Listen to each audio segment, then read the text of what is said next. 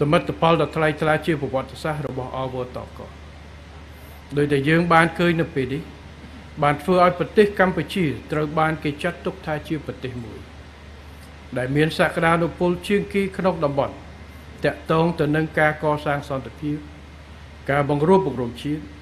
ការផ្ដល់យុត្តិធម៌ដល់ជនរងគ្រោះនិងដំណើរការទទួលខុសត្រូវចំពោះមុខច្បាប់